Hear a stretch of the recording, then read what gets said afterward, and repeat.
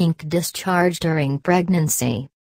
A brownish pink discharge during pregnancy can scare you, and if not taken care of, can lead to complications for both yours and your baby's health.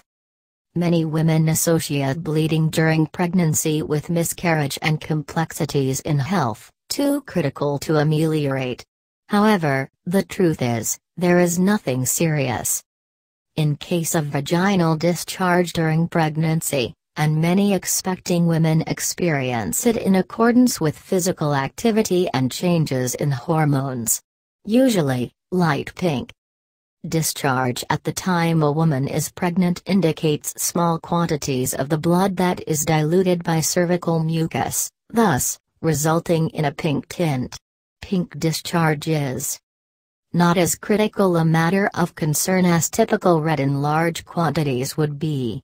That is to say, such kind of discharge is normal, and does not add up to any wrong.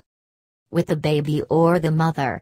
The following section enlightens with the possible causes of pink discharge at the time of pregnancy. Take a look. Causes Medical professionals tell that since during pregnancy, the blood vessel count in the cervix increases, and in case of physical contact, it is normal if the vessels break and lead to bleeding.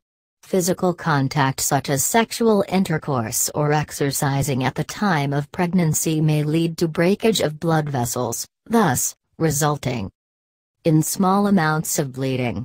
Note that, even though it is perfectly normal for a pregnant woman to bleed like this, the issue is not worth ignoring, and shall be immediately reported to the physician. Other causes may include transformations in hormones because during pregnancy, increased production of estrogen leads to greater flow of blood to the vagina. Either it could be secretions from the cervix, or it could be a discharge from the old vaginal cells.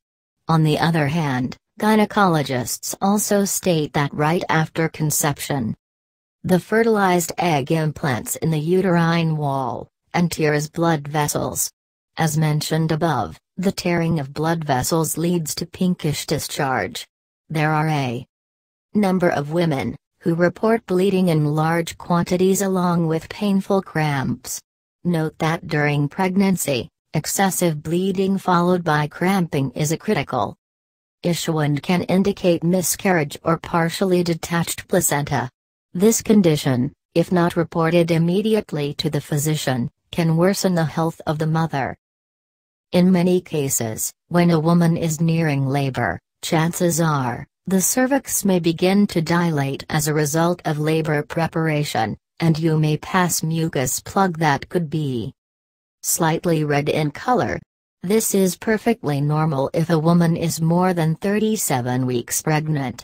However, if the mucus plug indicates a serious red, it's high time you called your physician and informed.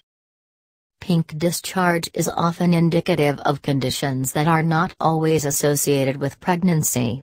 Infection in the vagina, an STD, sexually transmitted disease, or inflamed cervix can irritate your vagina and lead to spotting during pregnancy. This needs to be immediately reported to the physician before it gets serious a colored discharge can be worrisome. However, despite many complications, most women deliver perfectly healthy babies.